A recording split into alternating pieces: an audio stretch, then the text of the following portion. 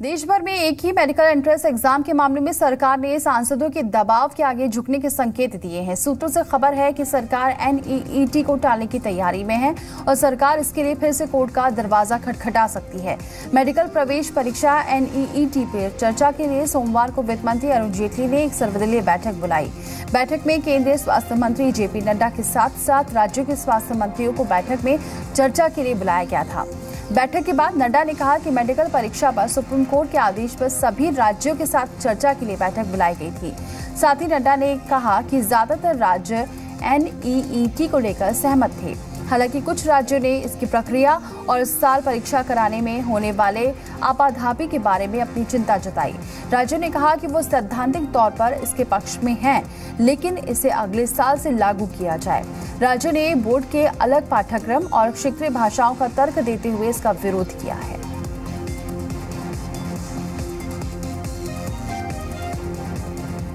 NEET को लागू किया जाए, इसके प्रति एक सहमति रही है। जो हेल्थ मिनिस्टर्स कॉन्फ्रेंस में भी थी कि we are in favour of NEET और वही बात को हम लोगों ने सुप्रीम कोर्ट के सामने भी कहा है। तो हम नीट के पक्ष में हैं लेकिन ये तीन बातें ongoing examination of state government of states language issue and the syllabus issue these issues need to be address we are on the process more consultation will be done कुछ और कंसल्टेशन uh, की जाएँगी और जल्द से जल्द हम इसका इसके निवारण के लिए हम आगे बढ़ेंगे। चलिए, आपको बता दें, आखिर विवाद क्या है? एनईईटी की परीक्षा सीबीएसई के पाठ्यक्रम के अनुसार है। सीबीएसई सभी एग्ज़ाम सिर्फ़ हिंदी और अंग्रेज़ी में कराता है। हिंदी और अंग्रेज़ी के अलावा दूसरी भाषाओं में परीक्षा देने वाले कई राज्यों के छात्रों ने इस पर ऐतराज जताया है। उनका कहना है कि दूसरी भाषाओं के छात्रों को इससे नुकसान होगा।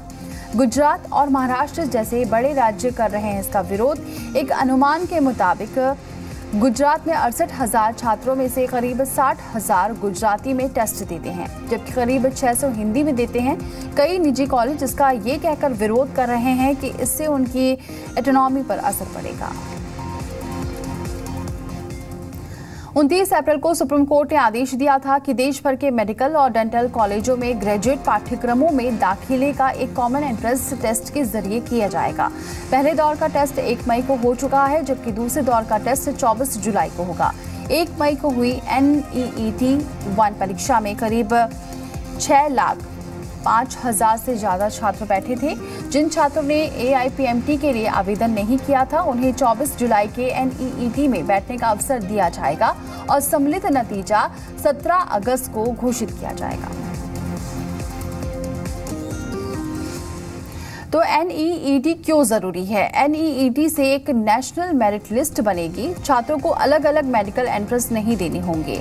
इससे मेडिकल एडमिशन में करप्शन पर लगाम लगेगी और देश के तमाम बोर्डों को साइंस का कॉमन करिकुलम बनाना होगा। इससे डॉक्टरों की क्वालिटी में सुधार भी आएगा।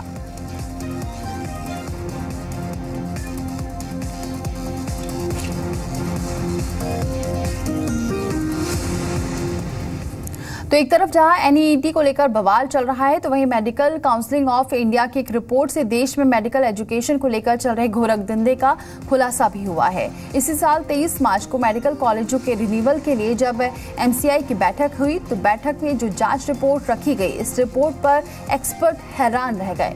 रिपोर्ट में पचास में से बत्तीस कॉलेज ऐसे पाए गए जो दाखिले लायक ही नहीं है। यानी ज़रूरी मानकों के न होते हुए भी देश में बत्तीस मेडिकल कॉलेज डॉक्टर बना रहे थे।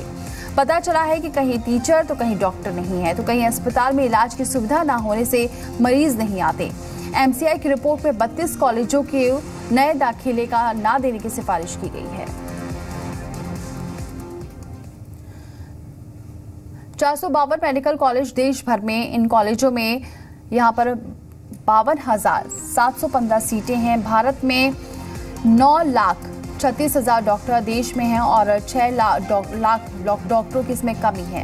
भारत में 1700 नागरिकों पर एक डॉक्टर है।